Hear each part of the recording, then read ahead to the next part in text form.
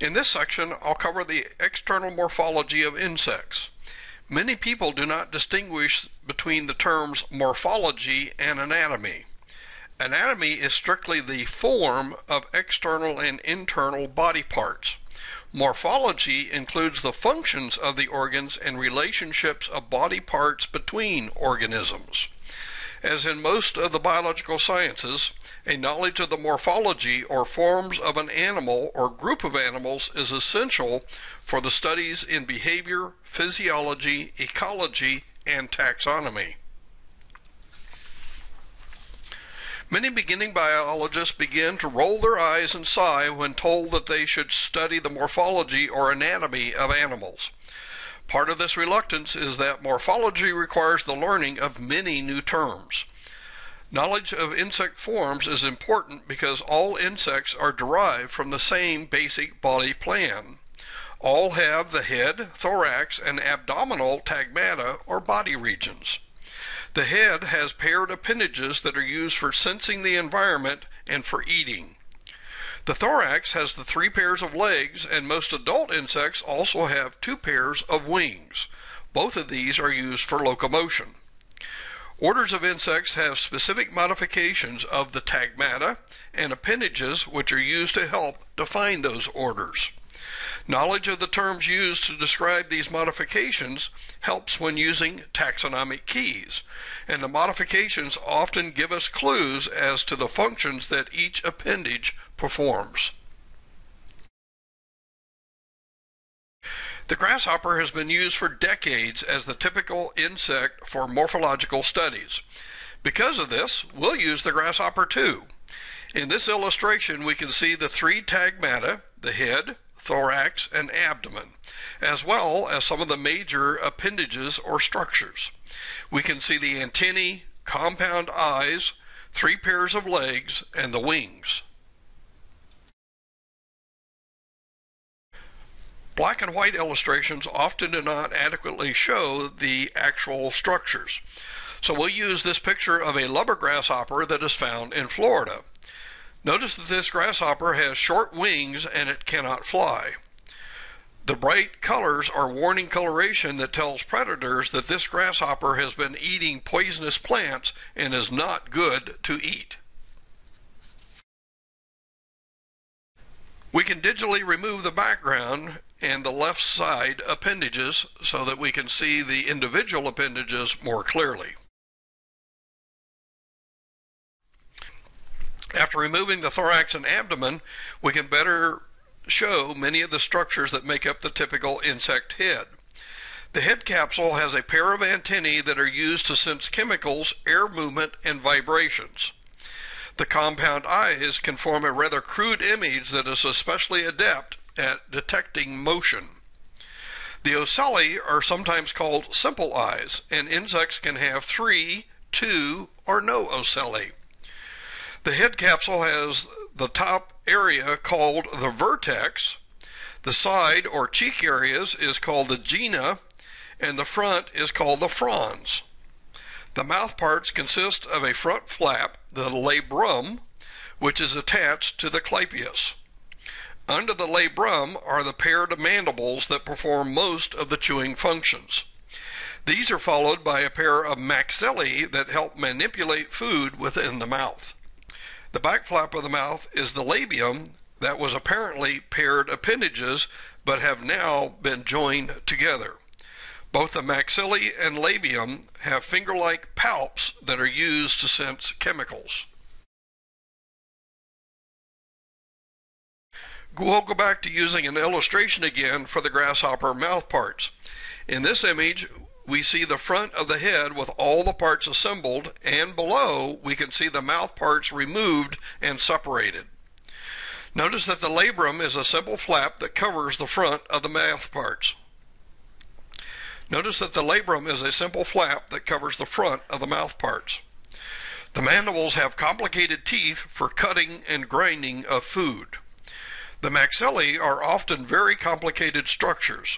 The grasshopper maxillae have two structures for pushing food around in the mandibles, an outer flap and the palps. The labium serves as a back flap and is loaded with all kinds of chemoreceptors for taste organs. The side view of our lubber grasshopper thorax reveals a very complicated structure, and many of the subunits are difficult to determine or are obscured by other structures. The basic insect thorax can be viewed as a box-like structure that has top plates called nota, side plates called pleura, and bottom plates called sterna. Since there are three segments to the insect thorax, we use pro to, to designate the first segment, meso to designate the second segment, and meta to designate the third segment. In this image, you can easily see the pronotum, but the mesonotum and metanotum are hidden by the wings. However, we can see the meso and metapleurons. Insect legs generally consist of five subsegments.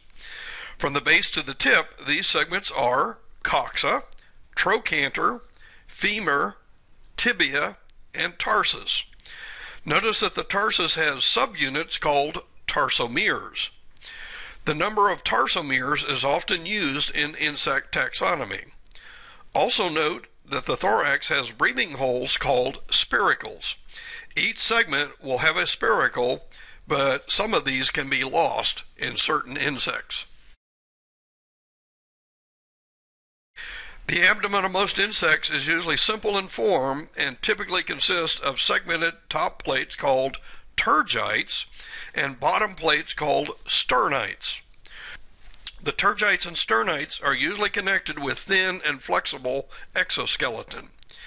Each abdominal segment usually has a spiracle, but the number of these can be reduced in some insects. The tip of the abdomen of some insects has a pair of appendages called cerci. The cerci can be long and antenna-like or short stubs as seen here in the grasshopper. Many insects have complicated external reproductive organs. Females may have elaborate ovipositors that are used to deposit eggs. The males will have external claspers that are used to join with the female during mating. While simple in external form, the abdomen usually contains most of the organs of digestion, excretion, and reproduction. In order to give you a different perspective of the grasshopper anatomy, let's take a look at this dorsal or top looking down view of a grasshopper illustration. The intact grasshopper is figured on the left and the parts have been pulled apart on the right. You can now see the segments that make up the head, thorax, and abdomen. In this enlarged view of the expanded grasshopper illustration, you can quickly see that there are lots of terms that are used for all the parts. Again, on the head, we see the antennae, compound eyes, and mouth parts. Notice the three nota of the thorax, the pronotum, mesonotum, and metanotum we can now see where the legs and wings fit onto these segments. The abdomen illustration only shows the tergites. In this illustration, we have a female that has a spine-like ovipositor visible.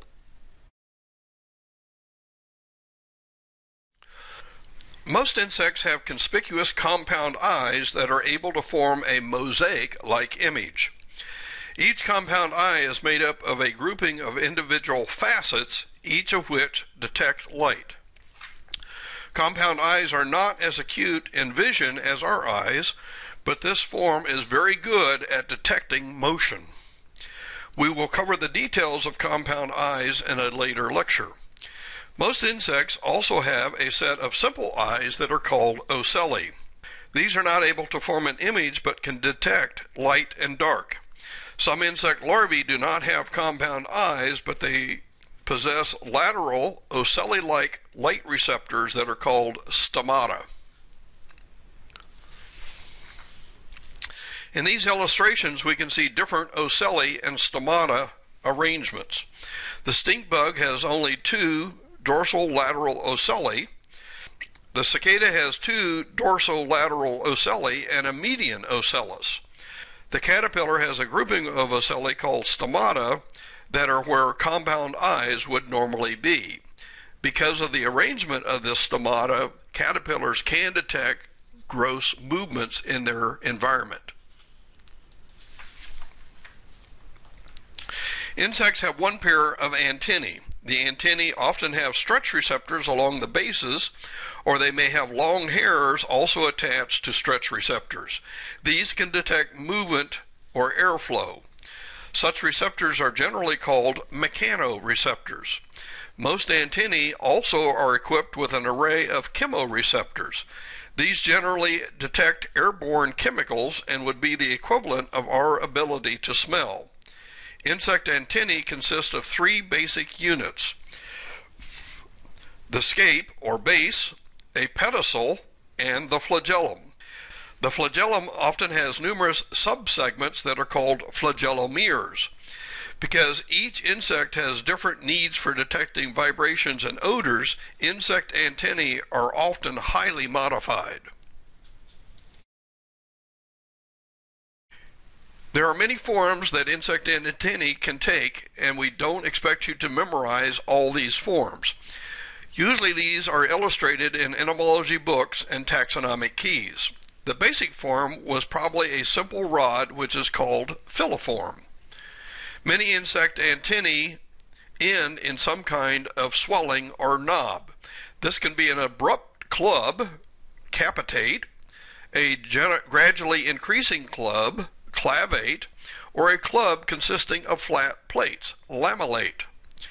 Some insects have the first or second segments elongated, then there is a distinctive elbow bend followed by the rest of the segments.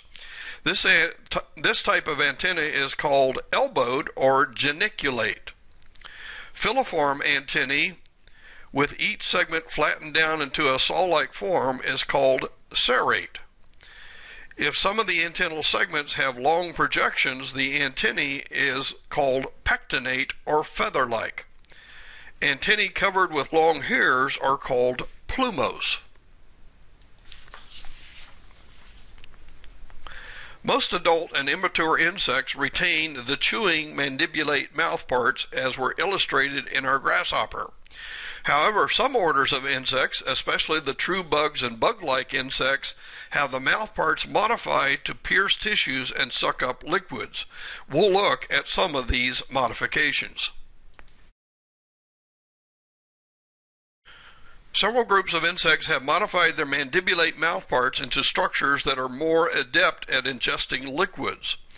In these insects, some of the mouthparts have been extremely elongated into stylets that can pierce plant or animal tissues. These stylets are usually encased by a wrap around labium. In these illustrations of the piercing, sucking mouthparts of a true bug, you can see in the cross-section drawing that the mandibles surround the maxillae, which are joined together to form a salivary channel and a food canal.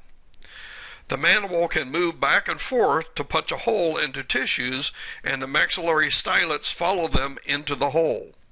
The labium is able to fold out of the way as the mandibular and maxillary stylets move deeper into the tissues. Mosquitoes also have piercing sucking mouthparts, but you can see that the mandibulate mouthparts used are different. In this case, the labrum is curved around to form the food channel. The bottom of this structure is sealed with the mandibles, the hypopharynx, remember that's the floor of the mouth itself, and the maxillae. The hypopharynx contains a salivary channel. When mosquitoes feed, they move both the mandibulary and maxillary stylets in and out in a stabbing motion. This cuts a hole into the skin, and the labrum and hypopharynx follow. Salivary secretions keep the blood from clotting, and most also have a numbing agent in the saliva. Again, the labium folds back as the stylets move into the tissues.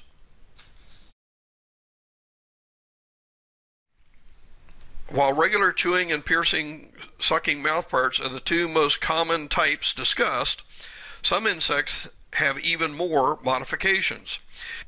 Many butterflies and moths have the maxillae elongated and joined to form a siphoning organ, that is, a flexible tube. This is often called the proboscis.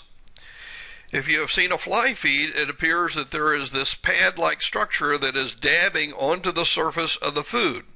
This is a sponging type mouthpart. Honeybees and other bees have the labium elongated into a structure adapted for lapping up nectar from flowers. They keep the mandibles for chewing, so their mouthparts are actually called chewing lapping type. And some insects, like thrips, have one mandible reduced and the other is used to rasp the surface tissues of plants that causes cell juices to surface where they can be sucked up.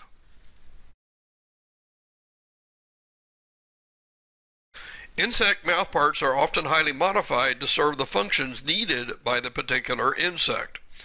In the butterflies and moths, the mandibles and maxillae are lost, and the floor of the mouth, the hypopharynx, has been elongated into an extensible coiled tube. This is used to siphon fluids. Many flies have mouthparts modified into an extendable structure that ends in a sponging pad. This is used to dab up fluids.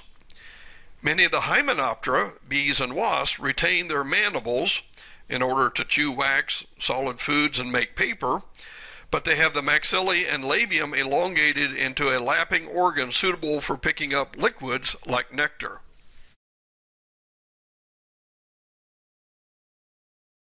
Weevils have a rather strange modification of the front of the head. It is generally elongated into a prominent snout-like structure. When you look at the tip of this, when you look at the tip of this snout, rather normal looking chewing mandibles are present. So, what may look like a sucking modification is actually a modified chewing structure. Now let's move to the modifications found in the insect thorax. Remember that all insects have three original segments that make up the thoracic tagmatum the prothorax, mesothorax, and metathorax. If we look at a cross section of an insect thoracic box, we can see that there are basically four sides.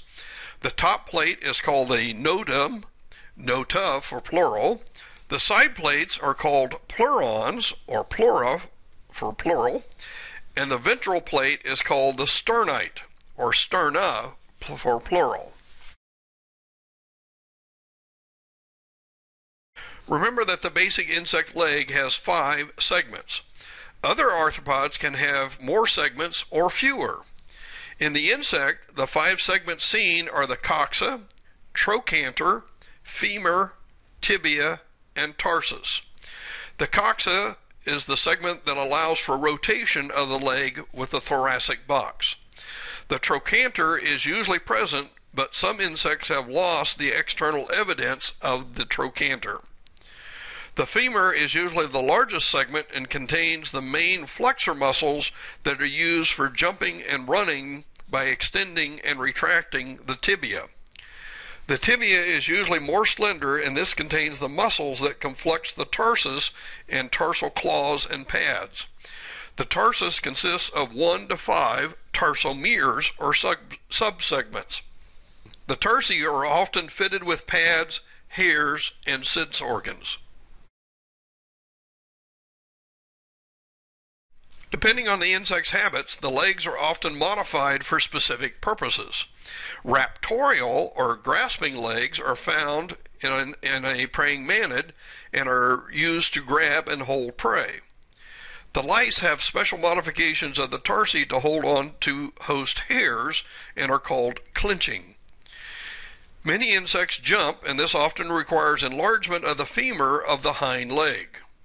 Swimming insects often have the leg segment streamlined and flattened in areas to serve as paddles. Many of the bees have special hair patches on their tibias for holding pollen collected from flowers.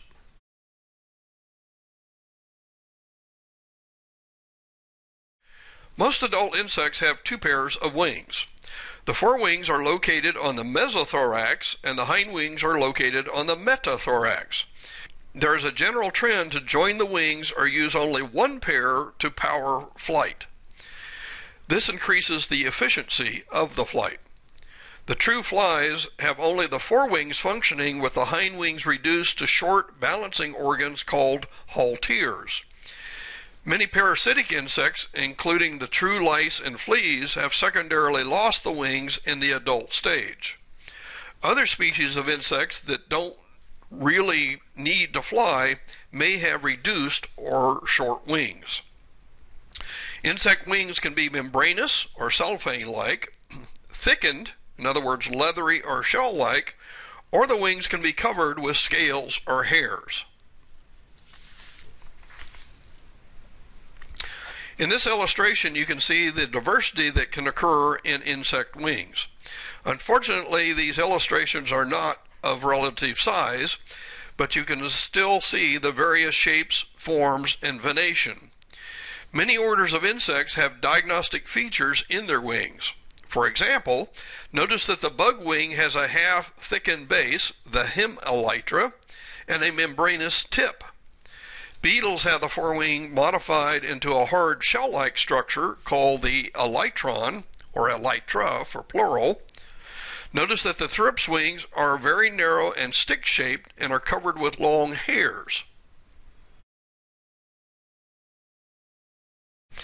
Insect wings have thickened veins, which are not like our veins, but these veins often contain tracheal trunks, that is, breathing tubes, nerves, and they are hollow so that the blood can flow from the insect body into the wings and back again. Entomologists believe that there was likely one major development of the wings of insects, and this yields major similarities in the wing venation. By viewing the insect nymphal wing pads and pupal wing pads, it becomes evident that insect wing veins have similar origins. The veins finally present in the wing are named according to the, these origins, and these names are generally consistent across most of the orders.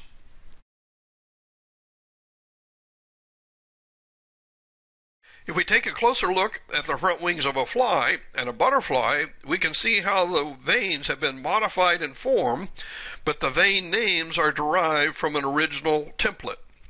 In the fly, notice that some veins are joined or lost, while in the butterfly, some veins are branched and retained.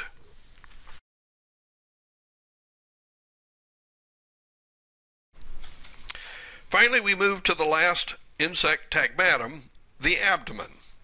Entomologists that have studied many insects and insect embryos find that the original insect abdomen likely consists of 10 or 11 original segments.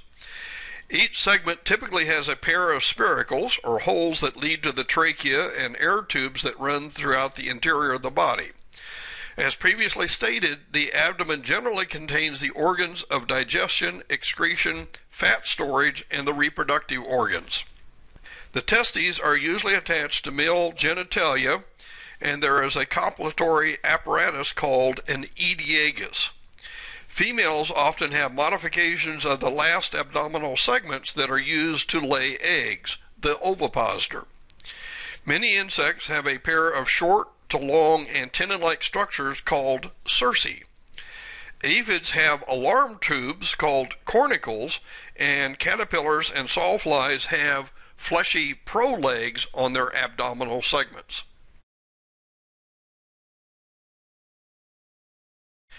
In this diagram of a generalized female insect abdomen, you can see the cerci. There are a pair of these. And the spiracles, again, a pair on each side of the abdominal segments. You can also see the external female organs are rather complicated structures.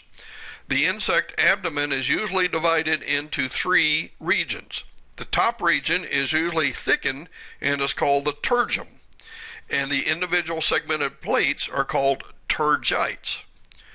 The lower thickened region is the sternum, and the individual plates are called sternites.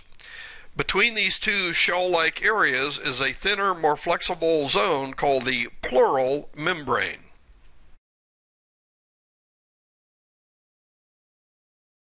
Different insects can have the abdomen modified for the needs of the particular insect. The mayfly naiad has finger-like tracheal gills attached to each abdominal segment. And the adult has no such structures on those abdominal segments, but you can see that it has a pair of very long cerci and a median and often a median caudal filament. The earwigs have forceps-shaped cerci. The wasp has an elongated ovipositor and a sheath that protects it.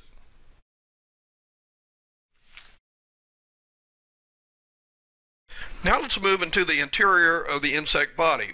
We will only go through the major parts here and discuss the functions of the internal organs in later lectures on digestion, excretion, respiration, circulation, reproduction, and the integument.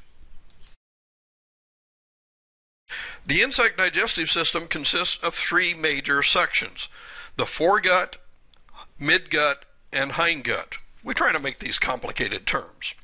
The foregut and hindgut regions are lined with cuticle, the same material that makes up the exoskeleton. Because of this, the lining is shed during molting, and because cuticle is virtually impervious to movement of water and or nutrients, there is no absorption in these regions. Therefore, only the midgut can secrete digestive enzymes and absorb digested nutrients. Each region of the insect gut can be highly modified according to the foods eaten by any particular insect. Obviously, a termite that eats wood fibers will have a very different gut than a mosquito that feeds on blood. The foregut is primarily a holding area for recently ingested food. This would be called a crop. There is a muscular area at the end of the crop that acts as a secondary grinding organ, and this is called the proventriculus. This functions like the gizzard of a bird. The midgut often has accessory pouches that are used to hold food while digestive enzymes do their work. These are usually called gastric caecae. The midgut is only one cell layer thick, so it is often lined by a cuticulin-like material that is secreted to keep the abrasive food particles from poking a hole in the midgut cells. This is called the peritrophic membrane. Where the midgut joins to the hindgut, there are a set of tubes, the Malpighian tubules, that remove nitrogenous waste from the body and dispose of these in the gut stream. The hindgut usually has rectal pads that remove excess water from the undigested waste before elimination of the feces. Here are two diagrams of very different guts, one of a caterpillar and the other of a milkweed bug. The caterpillar eats leaves and the milkweed bug sucks liquid sap from seeds and milkweed plants. Notice that the caterpillar has a long straight gut with the midgut being the longest segment. This is to absorb nutrients from the leaves that are eaten. But the caterpillars are not capable of digesting the cellulose, so copious fecal pellets are produced. The milkweed bug has an enlarged crop to hold the liquid foods. In order to get rid of all the excess water, the midgut is looped around to form a kind of water shunt. The water is removed to the hindgut and excreted as liquid droplets, and the concentrated remainder is further digested and absorbed in the midgut. As mentioned before, each insect has a gut designed to process whatever foods the insect eats. Nymphs and their adults will have very similar guts, but larvae may have very different guts than the adult forms. In these illustrations, the first one is of an antlion. Antlions capture other insects and suck out their body fluids. So the antlion larva has a very large crop that can hold substantial amounts of ingested foods. The next one is a ground beetle. Ground beetles are mainly predators, so the gut remains relatively simple, except for the little finger shaped caecae of the midgut, which are designed to rapidly absorb nutrients obtained from another insect. The caterpillar has an elongate midgut, which we have already discussed. Grasshoppers also eat lots of plant leaves, but they have large cecae to aid in the digestion of that plant material. The collembolan gut is very simple with all three sections remaining as simple tubes. You will learn later that excretion actually consists of two processes. Egestion is the elimination of undigested waste. The egested product is usually called feces. Egestion is the opposite end of ingestion. Other excretory needs are the elimination of toxic or unneeded metabolic byproducts. This usually includes the nitrogenous waste associated with metabolism of proteins and amino acids. When proteins are metabolized in the cells, ammonia is produced.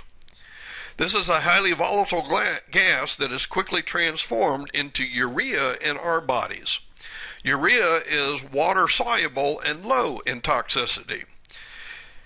It is what makes our urine yellow. Since insects need to conserve water, they further transform urea into uric acid. This is a white water insoluble molecule and is what you see as the white material in bird droppings. Uric acid is deposited into the food stream by the Malpighian tubules and excreted with the fecal, fecal pellets during egestion. Insects respire by using a system of tubes, the trachea. These trachea deliver oxygen and eliminate carbon dioxide. The trachea are lined with cuticle and the major trunks have to be removed during the molting process. The tubes are highly interconnected along the length of the body. We believe that in the original insect there were paired openings to the outside in each segment except for the head. These are called spiracles. There's a general trend to lose some of these spiracles in some insects. As an example, maggots have only one pair of anterior spiracles, a pair of elongated tracheal trunks, and a pair of posterior spiracles. Even so, most insects have three pairs of thoracic spiracles and 9 to 10 abdominal spiracles. This is a canna lily butterfly larva that lives inside rolled up canna lily leaves. So it has lost all the pigments that would normally be found in a caterpillar. This allows us to see the major tracheal trunks and the fine divisions of the trachea that eventually go down to the cellular level. The spiracles on each segment can be independently opened and closed. This can adjust airflow in the body. Air can come in the posterior spiracles and be pushed out the front, and then the reverse can happen. In this close-up, you can see even finer detail of the spiracles and tracheal system. You can see a lateral tracheal trunk that connects the spiracles and dorsal and ventral tracheal trunks that service those regions of the caterpillar abdomen. We are used to having a highly centralized nervous system with a dorsal nerve cord that serves as a conduit to transfer messages to and from our brains. Insects have a pair of ventral nerve cords and ganglia located in each segment. Each segmental ganglia can operate rather independently of the other ganglia or the brain. In the insect head, there are two brain like structures.